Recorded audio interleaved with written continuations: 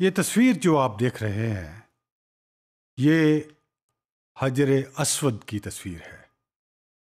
अरबी में हजर का मतलब होता है पत्थर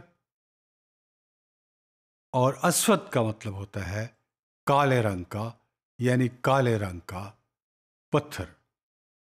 इस काले रंग के पत्थर को इतना मुतबरक समझा जाता है कि ये जन्नतुल फिरदौस का पत्थर है। इसलिए आज भी जब हम हज करने के लिए जाते हैं तो इसको बोसा देना फ़ख्र की बात होती है हमारे लिए।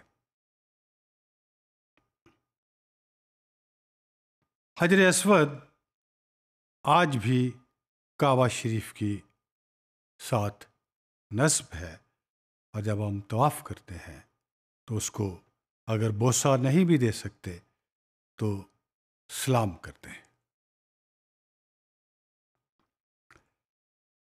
जब ज़ात रसूल सल्लल्लाहु अलैहि वसल्लम की उम्र मुबारक पैंतीस बरस की थी तो एक अजीब झगड़ा शुरू हो गया।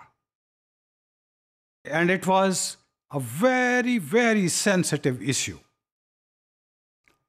you see the building of Kaaba Sharif had deteriorated extensively and it demanded tremendous repair. Quraysh decided to rebuild Kaaba Sharif. So, all the tribes that were living over there, and they all had decided it collectively they sat together and started rebuilding the, the building of the Kaaba Sharif, Baitullah, Allah के घर की तामीर या उसके साथ जो भी जिन चीज़ों की ज़रूरत थी उन चीज़ों को पूरा करने के लिए और बेहतरीन बिल्डिंग बनाने के लिए। अब वहाँ बिल्डिंग का सिलसिला तो चलता रहा लेकिन उसमें कोई झगड़ा नहीं हुआ। अब सोचने की बात यह है कि अरबों के जहन they had some how are the other phonetic thinking now came the occasion when the Hadre, Hajre Aswad had to be placed at its marked place, and everyone knew it that it has to be placed over here. अब उनकी अनापरस्ती उनकी self respect उसकी dimensions उस वक्त अपनी ही थी all the tribes set together and every one demanded that their leader or one of their representative will fix the Hajr Aswad at the place where it is required to be fixed.